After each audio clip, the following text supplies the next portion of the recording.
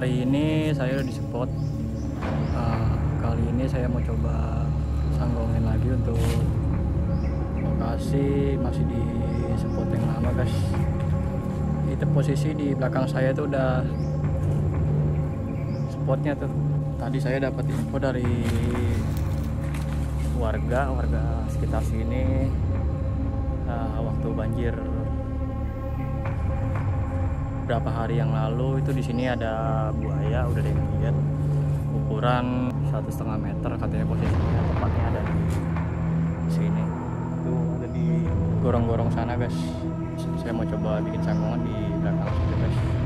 Untuk arah ke sini ke pinggir air sini guys